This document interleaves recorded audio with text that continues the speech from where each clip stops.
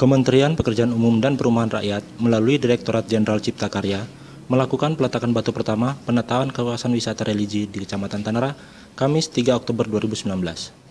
Proyek tersebut akan menata 11 item utama kawasan. Pekerjaan itu sendiri direncanakan selesai dalam 4 bulan dengan anggaran sekitar 5,55 miliar.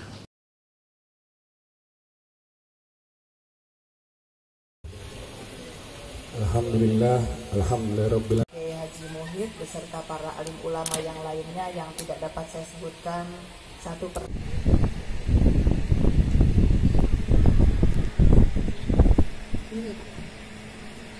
Eh, kawasan penataan masjid eh, seperti apa?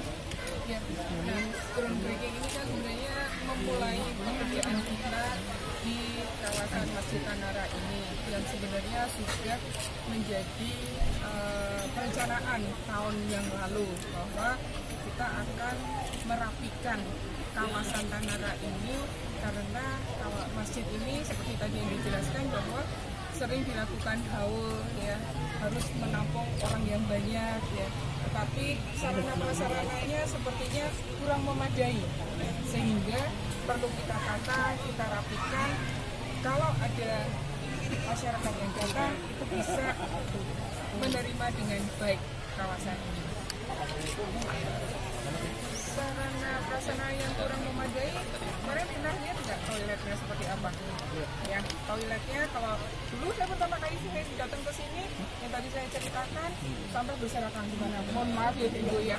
Sampah berserakan di mana-mana. Kemudian saya masuk ke toiletnya gelap.